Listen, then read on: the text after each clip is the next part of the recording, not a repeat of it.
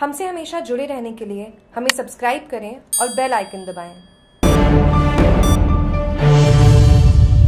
जगदेव राम जी उरांव पुस्तक विमोचन कार्यक्रम संपन्न आज राजस्थान वनवासी कल्याण परिषद के तत्वाधान में अखिल भारतीय वनवासी कल्याण आश्रम के पूर्व राष्ट्रीय अध्यक्ष स्वर्गीय जगदेव राम जी उरांव के प्रथम पुण्यतिथि पर उनके जीवनी के संबंध में पुस्तिका विमोचन का कार्यक्रम आदर्श विद्या मंदिर, पिंडवाड़ा में संपन्न हुआ कार्यक्रम में मुख्य वक्ता प्रांत संगठन मंत्री जगदीश कुलमी, स्थानीय आबू पिंडवाड़ा विधायक समाराम गरासिया जनजाति सुरक्षा मंच के जिला अध्यक्ष धनाराम मीणा, प्रबंध समिति के व्यवस्थापक कैलाश रावल, सचिव गोपाल सिंह, नेमा भारती के समक्ष द्वीप प्रवज्जलन कर कार्यक्रम का शुभारंभ कर पुस्तिका का विमोचन किया। कार्यक्रम में वनवासी कल्याण परिषद राष्ट्रीय स्वयं सेवक संघ विश्व हिंदू परिषद बजरंग दल के कार्यकर्ता उपस्थित रहे, जिसमें मंछाराम मीणा, भंवर पटेल, मदन रावल, सोमाराम प्रजापत, अशोक रावल, राकेश वैष्णव, लीलाराम पटेल, अरविंद वैष्णव, भंवर पटेल, लादूराम गरासिया, सुरेंद्र सिंह भाटी, राधेश्याम गर्ग, गंगा सिंह,